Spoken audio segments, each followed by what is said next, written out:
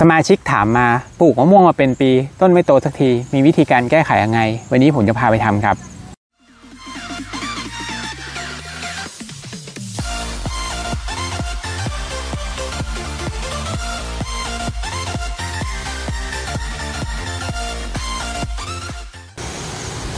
สวัสดีครับ วันนี้เรากลับมาพบ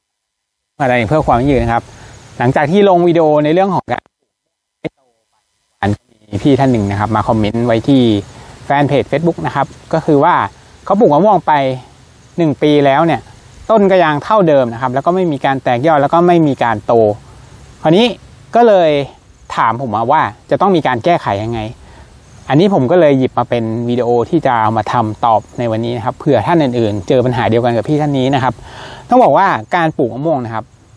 เราจะต้องมีการดูแลแล้วก็ใส่ปุ๋ยในทุกๆ 1 เดือนนะครับ แต่ถ้าเกิดใครที่เรียกว่าทำงานแล้วไม่ค่อยมีเวลาก็อาจจะใช้เป็น 3 เดือนครั้งดูแลเขาหน่อย เพื่อให้ต้นเนี่ยได้มีการเจริญเติบโตตามช่วงอายุของเขานะครับ แต่ต้นเนี้ยที่ผมมานั่งทำตัวอย่างเดี๋ยววันนี้ผมจะสาธิตให้ดูกับต้นนี้ ต้นนี้เพิ่งลงไปนะครับประมาณสามเดือนเป็นต้นที่เรียกว่าทาบกิ่งมานะครับ แล้วก็ ได้ผลเนี่ยมันกำลังเริ่มที่จะแตก แต่ว่าก่อนหน้าเนี้ยเรามีการบำรุงไปแล้วแหละแต่วันนี้ผมจะมาทำสาธิตกับต้นนี้ให้ดูนะครับว่าเนี่ยให้ดูว่ามันเหมือนว่ามันไม่โตนะครับแต่จริงเพิ่งลงปลูกไปนะครับ ก่อนผลมา การที่จะทำให้ต้นมะม่วงมันเจริญเติบโตได้ก็เหมือนที่ผมบอกนะครับ มันจะต้องมีการใส่ปุ๋ย แล้วคราวเนี้ยถ้าเราห่างเหินออกไปจากการใส่ปุ๋ย ไม่ได้ดูแลเขาเลย ปล่อยให้หญ้ารกท่วมคล้ายๆ ด้านหลังของผมเนี่ย แล้วก็ไม่ได้มีการมาดูแล ปล่อยให้มะม่วงเนี่ยเขาเจริญเติบโตด้วยตัวเอง พูดง่ายๆก็คือเทวดาดูแล บางทีต้นมาเจอกับดินที่เรียกว่ามันไม่มีปุ๋ยเหมือนที่ผมนำเสนอไปเมื่อวานเรื่องการที่เอามะม่วงไปปลูกบนดินลูกหลังนะครับ ปลูกแบบนั้นปุ๋ยก็ไม่มีดูแลก็ผิดวิธี เข้าใจก็เข้าใจผิดวิธีแบบเนี้ยมันก็จะทำให้ต้นมันก็ไม่โตเหมือนกันนะครับ พี่ท่านนี้ก็เลยถามมาว่า เมื่อมันไม่โตแล้วเนี่ยจะต้องมีการแก้ไขยังไง ขั้นตอนแรกเลยนะครับ ดินที่อยู่บริเวณเนี้ยให้มองว่ามันไม่มีปุ๋ยครับ ถ้ามันมีปุ๋ยต้นเราเนี่ยจะต้องเจริญเติบโต แตกใบได้ดี คราวนี้ เราจะมาปรุงดินรอบต้นกันนะครับว่า ดินตรงนี้ถึงมันไม่มีปุ๋ย เราจะทำให้มันเจริญเขาเรียกว่า มีปุ๋ยทำให้ต้นเนี่ย มันมีรากไปได้กินปุ๋ยแล้วเจริญเติบโตได้ดี เราก็จะต้องมีการใส่ปุ๋ยไปที่รอบโคน การใส่ปุ๋ยจะไม่ได้ทำเหมือนทั่วไปที่เราเคยทำตรงนี้เองผมจะทำการขุดดินนะครับ ที่ห่างจากรอบโคนที่ต้นที่เราปลูกมาปีนึงเนี่ย เราจะไม่ได้ขุดย้ายนะครับ เราจะยังใช้ตรงจุดเดิมของเรานี่แหละ เป็นการที่เรียกว่าปรุงดินใหม่นะครับรากที่มันจะมีหรือไม่มีบริเวณรอบโคน เราจะทำการตัดหรือ เขาเรียกว่าขุดรอบโคนเนี่ยขึ้นมานะครับประมาณหนึ่งหน้าจอบหนึ่งหน้าจอบเนี่ยก็ความลึกประมาณสักยี่สิบเซนติเมตรนะแล้วคราวนี้เราจะทำการอัดปุ๋ยลงไป สูตรนี้จริงๆคือนำเทคนิคมาจากการให้ปุ๋ยในไต้หวันนะครับ ที่ผมไปดูเขาจะขุดร่องรอบต้นนะครับ เสร็จแล้วเนี่ยเขาก็จะหมกปุ๋ยลงไป ซึ่งตรงนี้เองเนี่ยก็จะทำให้ปุ๋ยเนี่ยมันอยู่ได้นาน แต่ตรงนี้เราจะประยุกต์มาใช้กับการฟื้นฟูต้นไม้ของเรา ก็คือฟื้นฟูต้นมะม่วง ที่มันไม่โตเอาซะเลย แล้วเราก็จะใช้ปุ๋ยตัวเนี้ยอัดลงไป ปุ๋ยที่เราจะนำมาใช้นะครับ มีอยู่ 2 ตัวที่แนะนำก็คือ ปุ๋ยมูลสัตว์ที่ผ่านการหมักแล้วนะครับ หรือที่เราเรียกกันปุ๋ยหมัก แล้วก็ปุ๋ยอินทรีย์ปั้นเม็ดเนี่ยก็สามารถเอามาใช้ได้ เพราะว่ามันผ่านการหมักแล้วก็เอาไปผ่านกระบวนการมาเรียบร้อยนะครับ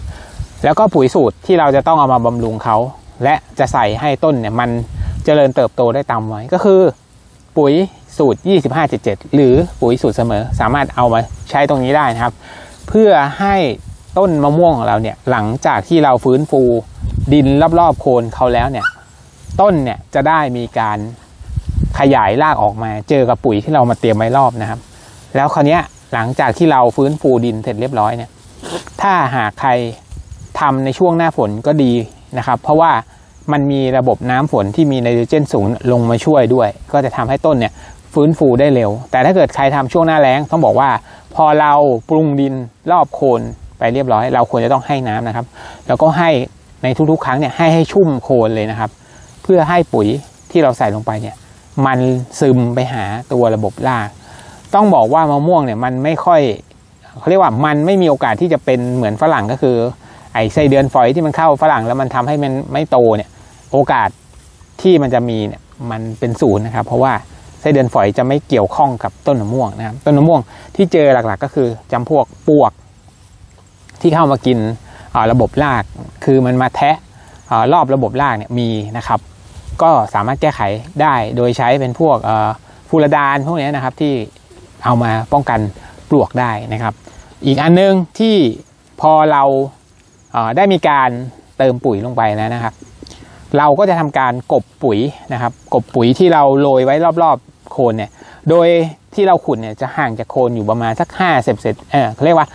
50เซนติเมตรนะครับ หรือประมาณสัก 40เซนติเมตรก็ได้ ถ้าต้นมันไม่ได้ใหญ่มากนะครับ แต่ถ้าเกิดต้นใหญ่แล้วมันไม่โตเลยก็ประมาณ 50เซนติเมตร พอเรา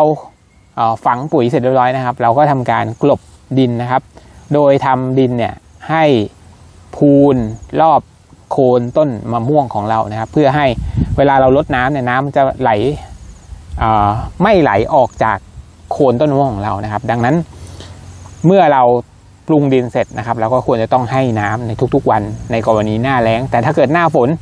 เราสามารถพึ่งพาน้ำฝนที่มันตกลงมาให้ได้นะครับ วันนี้ก็มาฝากพี่ท่านนี้นะครับสำหรับการปลูกมะม่วงมาเป็นปีแล้ว แล้วมันก็ไม่โตมีวิธีการแก้ไขยังไงก็คือ เราจะไม่ขุดออกนะครับ แต่ถ้าเกิดสมมุติว่า เราจะขุดย้ายมันเนี่ยสิ่งที่จะมีผลกระทบก็คือ ต้นเนี่ยมันอาจจะดินมันอาจจะแตกครับ เพราะว่าถ้าเราขุดล้อไม่ดี แล้วเราจะย้ายไปไว้ที่ใหม่ที่มันแบบดินอุดมสมบูรณ์เนี่ยอาจจะทำให้ดินแตกแล้วทำให้ต้นตาย แต่ถ้าเกิดเราฟื้นฟูแบบนี้นะครับ ก็คือประมาณสักหนึ่งเดือนเนี่ยมันก็จะเริ่มแทงยอดใหม่มีอยอดที่ออกมา แล้วถ้าเกิดใครมองว่ายอดมะม่วงของเรา ถ้าเราเจอว่ายอดเนี่ยมันแห้ง แล้วมันเป็นยอดที่มันไม่แตกแล้วเนี่ยให้ทำการบังคับเหมือนการตัดยอดฝรั่งเลยนะครับก็คือตัดตัดกิ่งที่มันแบบ โน้มออกไปกิ่งที่มันไม่แตกนะครับ ตัดออกตัดออกนะครับ มันจะเป็นการบังคับให้มะม่วงเนี่ยแทงยอดใหม่ออกมาพร้อมๆกับการที่เรียกว่าต้นมันจะพุ่งหลังจากที่มันได้ปุ๋ยไปแล้วนะครับ วันนี้ก็สรุปแล้วก็เอามาให้ฟังกันประมาณนี้นะครับสำหรับประสบการณ์ที่จะทำให้ต้นมะม่วงที่ปลูกมา 1 ปี แล้วมันไม่โตก็แก้ไขประมาณนี้ วันนี้ก็ต้องขอขอบคุณทุกท่านอีกครั้ง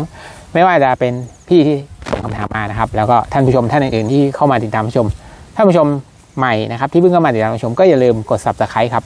เพื่อติดตามคลิปวิดีโอใหม่ๆที่ทางสวนนิรวดีจะนำมาฝากกันในครั้งต่อไป วันนี้ผมต้องกล่าวคำว่าขอบคุณและสวัสดีครับ